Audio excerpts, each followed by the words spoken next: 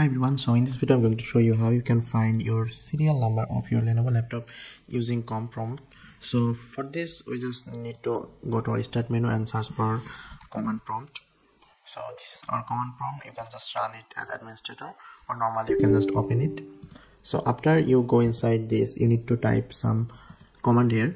Basically you need to type wmic then bios then you need to type get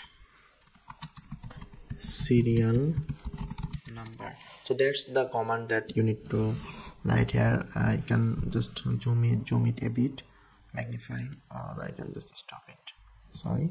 So this is our command wmic bios get serial number and then press enter. So once you press enter you can find the, your serial number of your laptop.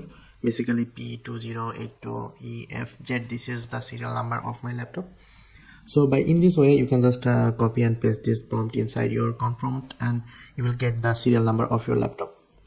So this is the video. I hope this video helped. And if you like the video hit the like button and also subscribe to my channel for more shortcut video.